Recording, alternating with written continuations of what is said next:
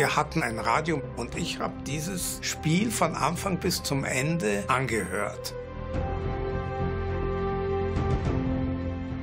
Nur mit einer Vision kannst du das schaffen, was er überhaupt im Leben geschafft hat. Er, er, wollte irgendwas erreichen, er wollte diesen Verein nach vorne bringen, sonst hätte er diese Geschichte nicht geschrieben.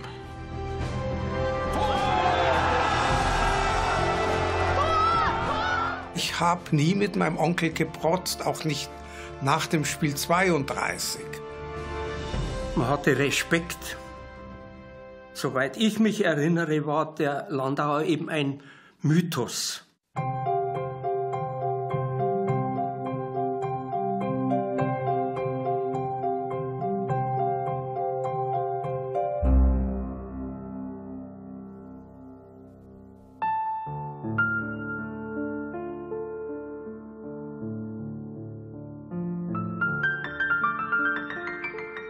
Uri Siegel ist 92 Jahre alt und der letzte lebende Nachkomme des legendären Bayern-Präsidenten Kurt Landauer. Mit seinen Eltern flieht er 1935 nach Palästina und kehrt später als Anwalt nach München zurück. Immer mit dabei sein liebstes Erbstück. Der Schirm begleitet mich seit dem Tod meines Onkels, der im Dezember 1961 gestorben war. Und Januar 1962 habe ich diesen Schirm bereits bekommen. Das ist also ähm, mein liebstes Vermächtnis meines Onkels.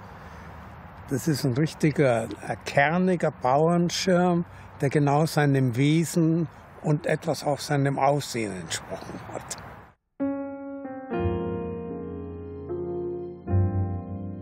Eine absolute Persönlichkeit von der ganzen Statur her, so wie ich, also das habe ich so in Erinnerung und äh, von seiner sehr netten, freundlichen Art. Greinau am Fuß der Zugspitze. Hier verbringt Uri Siegel vor mehr als 80 Jahren einen der schönsten Tage seiner Kindheit. Am Radio verfolgt er 1932 das Endspiel um die deutsche Fußballmeisterschaft.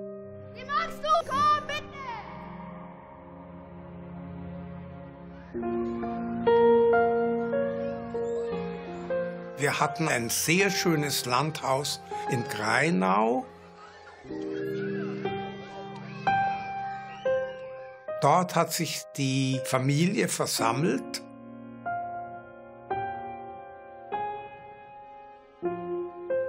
Das war also wirklich meine beste Zeit und meine schönste Zeit. Es hat sich nie mehr wieder so was Tolles wiederholt.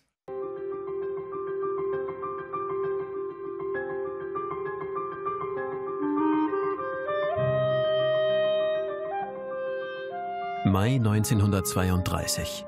Zehntausende bejubeln die erste deutsche Meisterschaft des FC Bayern. Im Triumphzug fährt die Mannschaft auf Kutschen durch die Stadt. Es ist auch ein Triumph des 48-jährigen Kurt Landauer, der den Klub an die Spitze des deutschen Fußballs geführt hat. Uri Siegel bestaunt als Kind den Corso vom Wohnhaus der Landauers aus. Mit dem Rest der Familie haben wir das vom dritten Stockwerk auf der Kaufinger Straße mit angesehen. Und das muss ich sagen, das war schon, das war schon ein erhebender Anblick. Die Landers waren prominent, aber ich würde sagen, der vorstechendste war wohl der Kurt. Mit seinem, mit seinem Fußball. Der Onkel war auch unterm Volk in der Stadt bekannt. Die Familie Landauer waren schon ein Bestandteil der Münchner Gesellschaft, sehr in der Mitte der Gesellschaft, nicht ein Außenseiter oder ein eventueller Neureicher, nein, das war Bestand. Nur noch wenige Fotos, Dokumente und Erbstücke sind von Kurt Landauer geblieben. Das alles passt in seine Offizierskiste, die Uri Siegel nach dem Tod seines Onkels erbt. Kurt Landauer wurde im Jahr 1917 zum Leutnant ernannt und mit dieser Ernennung kam als Teil seiner Ausrüstung eine Kiste, in der er nach Belieben seine Kleidungsstücke oder was er sonst hatte, untergebracht hatte. Das mit den Manschetten, woher die stammen, weiß ich nicht. Aber die hat er mir in seinem Testament offiziell vermacht. Ich war eigentlich der einzige männliche Nachkommen der Landauers, der noch greifbar war. Und ich habe die gerne entgegengenommen. In München wird der Ausbruch des Ersten Weltkriegs im Sommer 1914 euphorisch gefeiert. Tausende melden sich freiwillig an die Front, darunter viele Juden. Kurt Landauer hat bereits seinen einjährigen Freiwilligendienst abgeleistet und zieht als Unteroffizier in den Krieg. Er zeigt Ehrgeiz und bewirbt sich um die Ernennung zum Offizier. Einstimmig erheben ihn alle 14 Offiziere seines Bataillons zum Leutnant. Die Juden sind freiwilliger in den Krieg gezogen wie ihre nichtjüdischen Genossen. Und es wurde ja mal ein Zensus gemacht. Man wollte nachweisen, dass die Juden Drückeberger sind. Und die oberste Heeresleitung hat einen Zensus gemacht.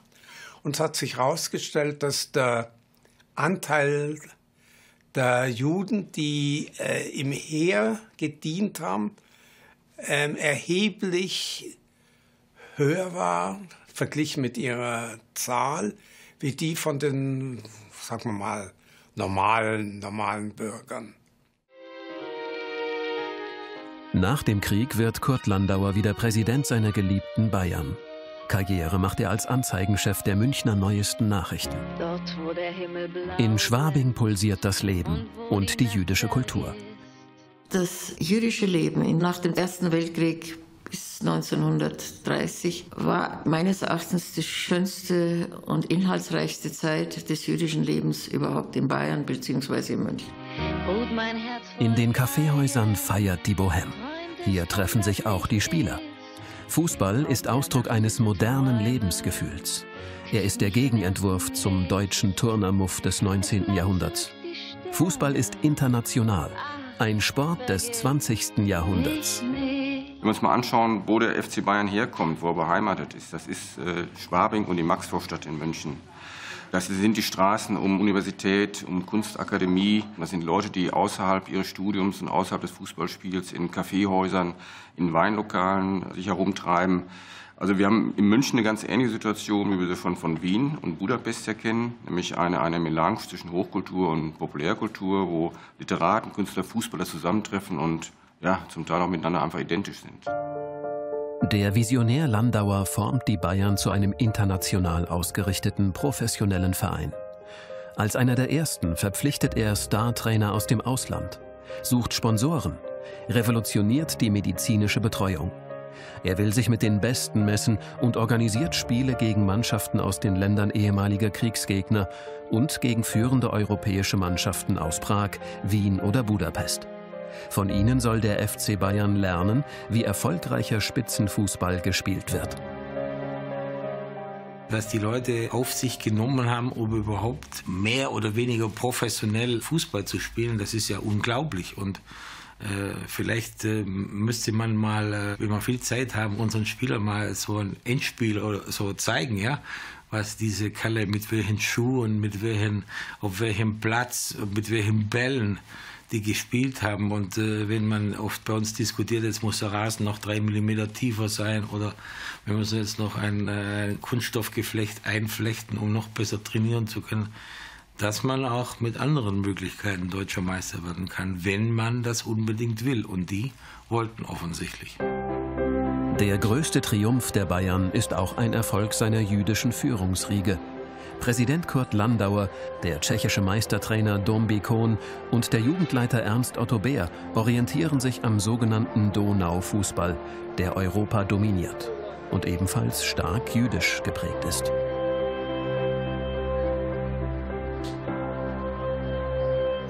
Damals gab es den Begriff Judenclub, aber der war eigentlich nicht böse gemeint. Und ähm, mal aus meinem Leben. Ich war, ich war in einer ähm, Volksschulklasse, wo verhältnismäßig viel jüdische Kinder waren und unser Lehrer hieß Bauer. Die Parallelklasse, wo es keine Juden gab, hieß Bauer ohne E. Und ein Unterschied bemerkbar zu machen, hat man unseren Bauer den Judenbauer genannt. Aber da hat sich niemand, niemand dran gestoßen, die Juden schon gar nicht. Als Hitler 1933 die Macht ergreift, folgt auf die Stunde des Sieges der jähe Absturz. Landauer verliert seine Arbeit bei der Zeitung und hält sich nun als Angestellter eines Wäschegeschäfts über Wasser. Gezwungenermaßen tritt er als Bayern-Präsident zurück, obwohl sich der Verein lange gegen die Vereinnahmung durch die Nazis wehrt. Für die Familie Landauer ist das alles kaum fassbar. Der jüdische Glaube war nie Mittelpunkt ihres Lebens. Natürlich, wenn man die Religion nicht ausgeübt hat, da ist nicht mehr, ist nicht mehr viel geblieben. Dann haben wir nur die anderen zum, zum Juden gemacht. Wir haben uns selber gar nicht, gar nicht vorstellen können, was das eigentlich ist, Jude zu sein. Ausgerechnet ein anderer Verwandter Kurt Landauers, der Münchner Rechtsanwalt Michael Siegel, wird zu einem der ersten Opfer des nationalsozialistischen Terrors. Sein Bild geht als Symbol der Judenverfolgung um die Welt. Wir haben uns eigentlich alle als äh, jüdische Bayern oder jüdische Münchner gefühlt. Schnell steigert sich der Terror der Nazis. Immer mehr Mitbürger verschwinden in den Konzentrationslagern. Doch für viele alteingesessene jüdische Familien ist es undenkbar, dass sich der Wahnsinn weiter steigern könnte. Sie geben sich selbst 1936 noch der Illusion hin, dass der Nazispuk nicht von Dauer ist.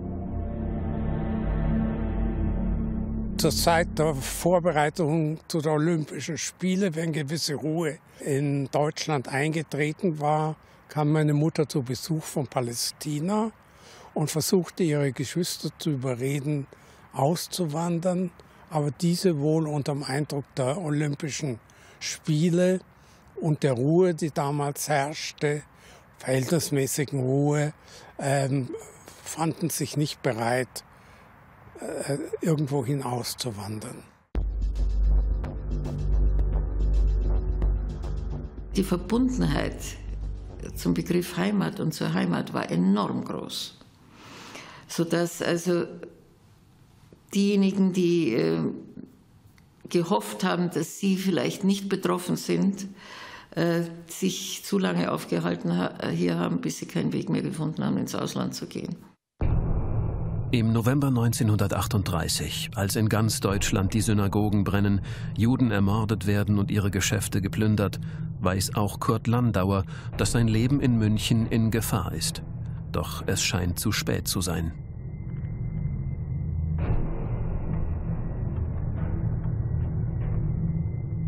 Unmittelbar nach der Reichspogromnacht wird Kurt Landauer, wie viele andere, verhaftet und ins KZ Dachau verschleppt. Schutzhaft nennen die Nazis das und prügeln und foltern ihre Opfer.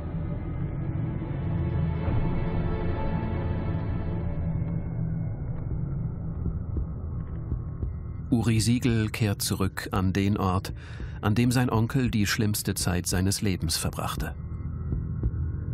Selbst hier zeigt Kurt Landauer die Kraft und Stärke, die ihn Zeit seines Lebens ausmacht. Mein Onkel war ein starker und er war ein tapferer Mann. Man musste auf dem Appellplatz in aller Herrgottsfrüh einen rechten Flügelmann stellen, an dem sich alle anderen angereiht haben. Der Onkel ähm, hat sich einige Male äh, freiwillig dazu gestellt und der Nachteil an dieser Sache war, äh, dass die Wachmannschaften kamen von rechts und der erste, der Prügel bekommen hat, war eben der, der rechte Flügelmann. 30 Tage dauert die Zeit Landauers in Dachau. 30 Tage Angst, 30 Tage Erniedrigung, die er in der Baracke mit der Nummer 8 ertragen muss. Dann wird er entlassen. Die Tatsache, dass er als Frontkämpfer in den Ersten Weltkrieg gezogen war, rettet ihm jetzt das Leben. Über seine Qualen in Dachau schweigt er. Mein Onkel hat die Zeit in Dachau nie mit einem Wort erwähnt. Ähm, das war einfach kein Thema in unserer Familie. Kurt Landauer bekommt 1938 noch eine Chance. Er entgeht der Hölle des Lagers. Seine Familie, seine Brüder Franz und Paul und seine Schwester Tilly werden in den folgenden Jahren von den Nationalsozialisten deportiert und ermordet. Kurt Landauer weiß nach seiner Entlassung, dass er in seiner Heimat nicht überleben wird.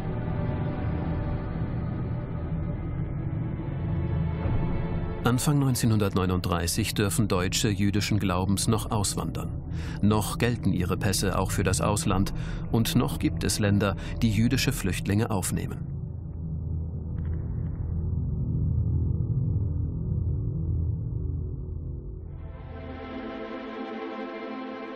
Kurt Landauer hat am Beginn des Jahrhunderts seine Banklehre im schweizerischen Lausanne absolviert. Er spricht Französisch und er hat hier Freunde. Angehörige der Eigentümerfamilie einer Münchner Privatbank bürgen für den Emigranten Landauer, der Geld in den USA deponiert hat, an das er nun nicht mehr herankommt. Jährlich überweisen sie ihm Geld aus New York, das er in der Schweiz zum Überleben braucht. Acht Jahre lang wird Genf seine Zuflucht. Alle drei Monate muss er seine Aufenthaltsgenehmigung verlängern. Arbeiten darf er nicht. Kurt Landauer, der Emigrant, lächelt, aber glücklich wird er nicht. Man muss eins bedenken, die wenigsten deutschen Emigranten haben sich in ihren Gastländern wirklich wieder so eingerichtet, wie es, früher in, in Deutschland war. Zürich im November 1943. Während in der Sowjetunion Millionen Soldaten um ihr Überleben kämpfen, soll der FC Bayern in der neutralen Schweiz ein Propagandamatch gegen eine Schweizer Länderauswahl austragen. Die Mannschaft logiert im noblen Hotel St. Gotthard. Unter den Augen der Gestapo, die ahnt, dass Kurt Landauer auf diese Chance wartet. Bevor die Mannschaft abreiste, wurde sie instruiert, was sie tun darf und was sie lassen muss. Und äh, dazu gehörte dass äh, keine Kontaktaufnahme mit deutschen Immigranten in der Schweiz und damit war es selbstredend Kurt Landauer gemeint. Und Kurt Landauer, seit Jahren allein im Exil, abgeschnitten von seiner Familie und seinem geliebten Verein, sucht diesen Kontakt.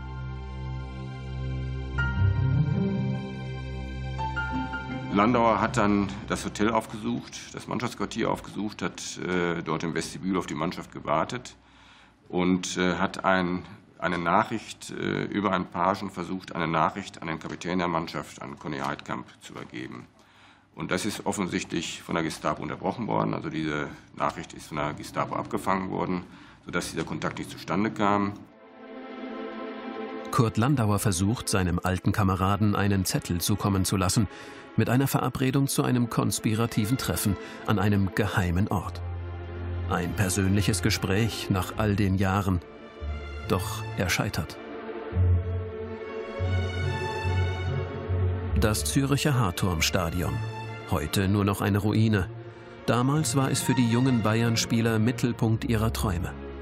Ein paar Stunden Zugfahrt nur, aber in eine andere Welt. Wir waren natürlich hell begeistert, weil wir eben aus Deutschland einmal nach Zürich fahren konnten, um dort vielleicht normale Verhältnisse zu erleben. Wir waren ja mitten im Krieg. Fußball mitten im Krieg. Ein absurdes Theater vor der Kulisse des Völkermords. Landauer sucht die Begegnung mit den Spielern des Vereins, der sein Leben war. Das Zusammentreffen, für das es keine Zeitzeugen mehr gibt, wird zur Legende. Hauptsächlich haben die ihn auf der Tribüne begrüßt. Ob sie das vom Spielfeld aus gemacht haben oder ob sie auf die Tribüne raufgegangen sind, äh, das ist mir nicht klar. Das weiß ich eigentlich nur von der Tante.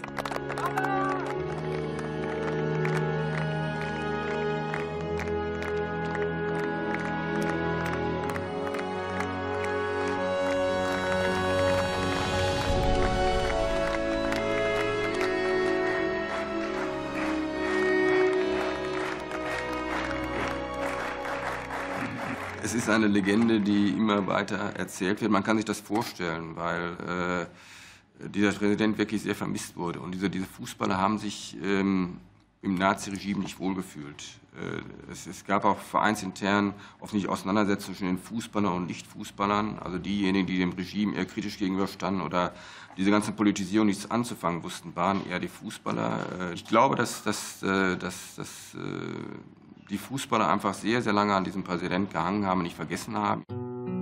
Die Presse beschreibt in den nächsten Tagen die Stimmung eines echten Länderspiels. Dazu gehört traditionell auch das Festbankett nach dem Spiel. Für die Spieler ist der Abend im Restaurant des St. Gotthard ein unvergessliches Erlebnis. Ein edles Menü, ausgesuchte Weine, die Gelegenheit, mit den Schweizer Kameraden zu sprechen. Eine Henkersmahlzeit in der gediegenen Atmosphäre eines Grand Hotels. Ich wusste natürlich nicht genau, wo es hinging, aber ich wusste, dass es an die Front ging. Und das war kein schöner Ausblick. Ja, sie haben mir Autogramme auf die, äh, auf die Speisekarte äh, gegeben und auf ein gutes Wiedersehen. Haben mir gutes Wiedersehen gewünscht.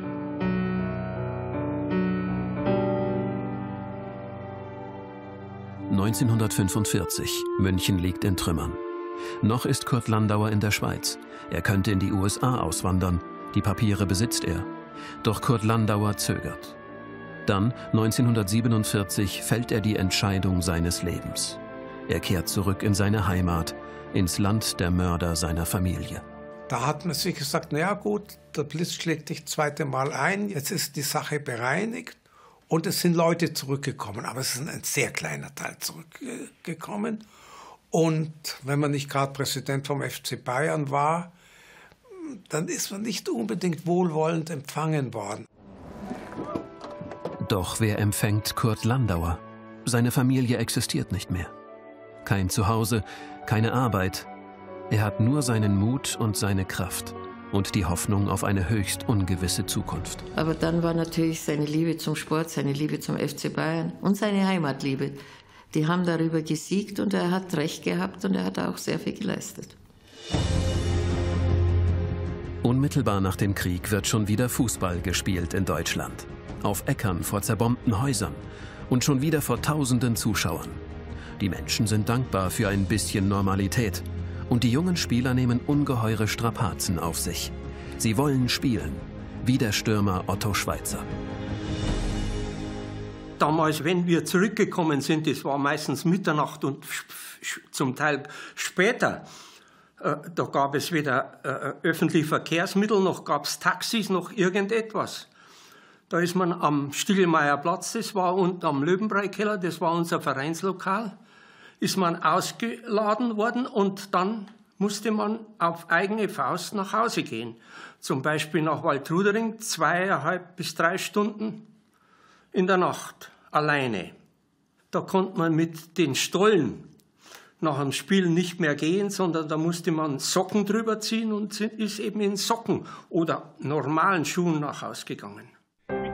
Landauer, der Vertriebene, kehrt zurück zu dem, was von seinem alten Leben geblieben ist, zu seinem FC Bayern. Er wird zum vierten Mal Präsident, gezeichnet von den einsamen Jahren im Exil, aber immer noch ein Macher. Das Erlebnis war für mich einmalig, so einen großen Mann des Münchner Fußballs direkt gegenüber zu sitzen. Ich musste da mal mit dem Fahrrad hinfahren und bin da in die Geschäftsstelle gegangen. Da saß die Frau Meier im Vorzimmer und die hat gesagt, was wollen denn Sie? Dann habe ich gesagt, ich hätte einen Brief für den Herrn Landauer. Und Landauer kam, ein großer, ich habe gar nicht gewusst, dass es ist, aber ein großer barocker äh, Mensch, also äh, gewaltig, gewaltig im Auftreten. Ich war mal mit ihm in der Geschäftsstelle vom FC Bayern, da haben die Sekretärin irgendwas falsch gemacht, da hat er zu denen gesagt, habt ihr denn nichts gelernt aus Heil Hitler sagen? Auch Landauers Offizierskiste übersteht den Zweiten Weltkrieg und kehrt mit ihm zurück nach München. Landauer, der Überlebende, kämpft jetzt um seine Zukunft, um Entschädigung, und um die Zukunft seiner Bayern, die froh sein können, wieder den Juden Landauer an ihrer Spitze zu sehen. Mit der Reputation des Verfolgten und seinem Geld rettet er den Verein aus seiner Not. Man muss sehen, dass die Alliierten die Sportvereine sehr skeptisch betrachteten, nämlich als Werkzeug des Militarismus und Narzissmus und wohl auch nicht so ganz zu Unrecht. Äh, und von da aus war es für die Vereine wichtig, nach 45 unbescholtene Bürger an ihrer Spitze zu stellen. Was Landauer vielleicht auch von anderen unterscheidet, ist, ähm, äh, er ist nicht einfach nur äh, ein Grüßonkel, ein Strohmann, der die Lizenz organisieren soll, sondern er packt an. Er ist tatsächlich aktiv. Doch nach vier Jahren endet Kurt Landauers letzte Amtszeit als Präsident des FC Bayern. 1951 wird er nicht wiedergewählt, obwohl er das Amt ein Jahr später an einen Nachfolger übergeben wollte. Gerüchte, auch antisemitische Strömungen hätten zu seinem Sturz beigetragen, bleiben Gerüchte. Landauer ist sicherlich kein einfacher Mensch gewesen. Er ist ein Dickkopf gewesen, vielleicht mal ein Querulant gewesen. Er ist jemand gewesen, der, wenn er eine Idee im Kopf hat, auch zugesehen hat, dass sie durchgesetzt wurde. Und äh, möglicherweise ist er mit, er mit seiner Art und Weise doch etwas zu stark in den Verein eingeeckt. Der Onkel war, war also absolut sauer. Man hatte dann, glaube ich, dann war irgendeine Art von Versöhnung. Da hat er einen Ehrenring bekommen aber das Verhältnis war nie mehr dasselbe. Kurt Landauer ist tief gekränkt. Doch zu seinem 70. Geburtstag sucht der Verein die Versöhnung. In blumigen Worten ehren ihn die Clubnachrichten. Landauer steckt sich die Ehrennadel wieder ans Revers. Er kann nicht lassen von der Liebe seines Lebens. Bis zu seinem Tod lebt er in Schwabing. Aus dem Verein zieht er sich fast vollständig zurück. Er heiratet die zweite Liebe seines Lebens, Maria Baumann. Die Erinnerung an ihn verblasst schnell. Als Landauer im Dezember 1961 stirbt, nimmt die Öffentlichkeit davon kaum Notiz. Es ist eine Zeit, in der die Menschen nicht zurückschauen. Ich denke, dass viele Leute in den Jahren nach dem Krieg einfach viel zu sehr beschäftigt waren mit dem Wiederaufbau, sich neu zu orientieren, ihren Leben neu zu ordnen, äh, in einem bestimmten Maße gesettelt zu sein, bis man dann äh, das geschafft hatte. Und dann hat man mal sich gefragt, wo kommen wir eigentlich alle her? Und dann ist dieses Gefühl äh, der Vergangenheit zurückgekommen. Und ich halte es für eine ganz wichtige Sache, dass es zurückgekommen ist. Heute ist der FC Bayern einer der erfolgreichsten Vereine der Welt. Und der Club beruft sich wieder auf das Erbe seines vielleicht größten Präsidenten. Er hat in einem Maße Zivilcourage bewiesen. Er hat ja sicherlich viele schlaflose Nächte gehabt, um das umzusetzen, was er hier dann am Ende geschafft hat.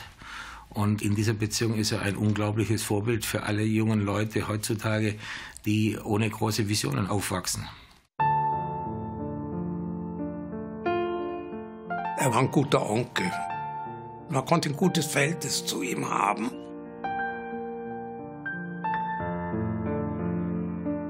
Es ist natürlich ein großes Genugtun für mich, dass er jetzt wieder in der Erinnerung zurückkehrt und dass man eigentlich auch seine Verdienste um den FC Bayern besonders schätzt.